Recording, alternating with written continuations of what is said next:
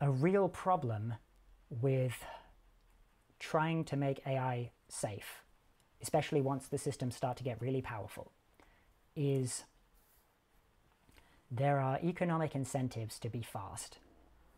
And people get stuck in this mentality of we have to be first, right? We have to release our thing before our competitors release their thing. As a result, they neglect safety, they neglect alignment because alignment is fiddly, it's tricky. It takes some time and some money and some engineering. And you can get this horrible situation where everyone would like to be more careful, but they feel like they can't because they think that if they slow down, then their competitors won't slow down. And so there's a race to the bottom when it comes to safety work and like this is this is really really concerning to me um, because if that pattern continues um, things look really really bad for us